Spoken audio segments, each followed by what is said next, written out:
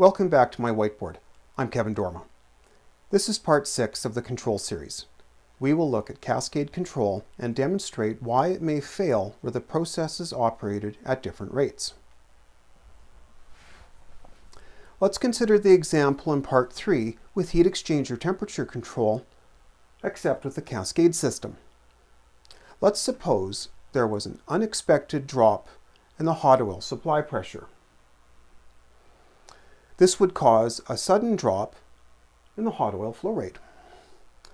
But because the temperature controller provides the flow set point, the hot oil flow controller takes action to maintain the desired hot oil flow rate.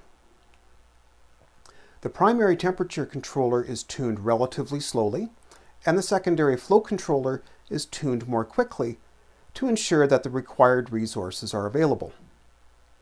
But what if the supply pressure is steady, like the discharge pressure from a centrifugal pump? Does cascade control provide a benefit? We will assume that the flow control valve is equal percent. Part 3 demonstrated that an equal percent valve was well suited for temperature control. As well, equal percent valves are often specified by default. For an equal percent valve, there is a small change in flow when the valve is nearly closed and a large change in flow when the valve is nearly full open. We saw from the discussion of process gain that the flow gain is high for low oil flow rates and the gain is low at high flow rates. We will tune the controllers to work well together at normal rates. Then the process flow rate will be reduced by a factor of 3. This will cause the gain on the heat exchanger to increase by a factor of 3 and the gain on the flow control valve to decrease by a factor of 3. Let's see how a reduction in flow rate impacts the reliability of this control loop. Here is the heat exchanger temperature control example, but implemented with a cascade control scheme. The outer, or primary loop, is temperature control. The PID controller is tuned for a 20 second response time.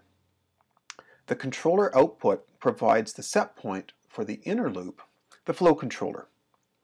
The inner loop is tuned for a 4 second response time.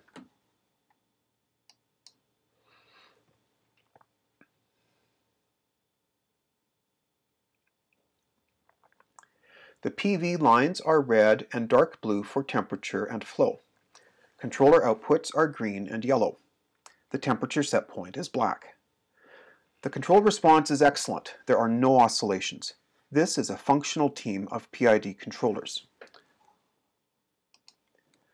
Now we will mimic cutting the process flow to one-third of the previous value.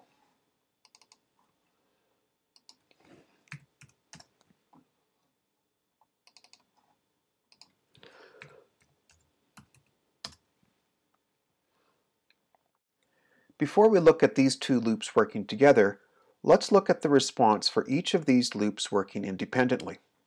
First, the temperature controller.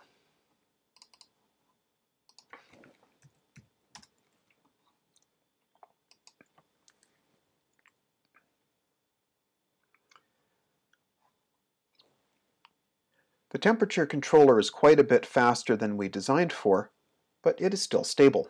It responds in about 10 seconds.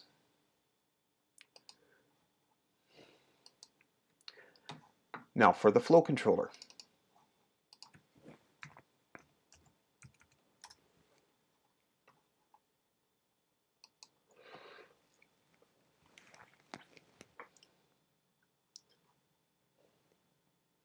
The flow controller also responds in about 10 seconds.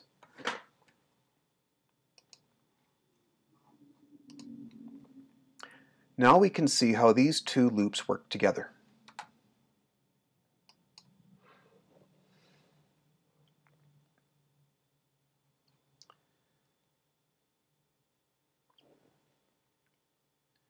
At the lower flow rate, everything is oscillatory. By themselves, each controller was able to manage the change in process behavior. However, the interaction with the other controller causes fighting. This use of a temperature flow cascade for heat exchanger control is not very robust. We see that a temperature flow cascade for heat exchanger control, where an equal percent valve is used, becomes unstable at low flow rates. This is because the two controllers respond in similar times and begin to fight with each other. This is an example of an inappropriate use of a cascade control loop. This concludes the whiteboard series on process control. I'm Kevin Dorma. Please visit my website at www.kevindorma.ca. Take care.